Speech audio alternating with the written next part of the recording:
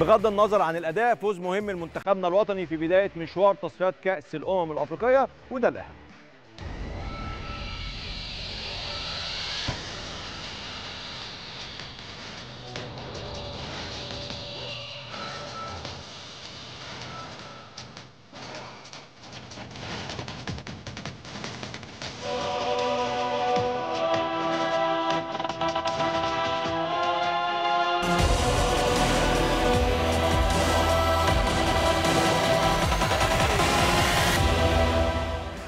كسبنا النهارده قدام منتخب مش سهل ومش صعب برضه. هو منتخب عادي. فوز كان مهم جدا مش بس علشان بداية التصفيات بس علشان اللاعبين ترجع لهم الثقة وإيهاب جلال يقدر يشتغل في هدوء.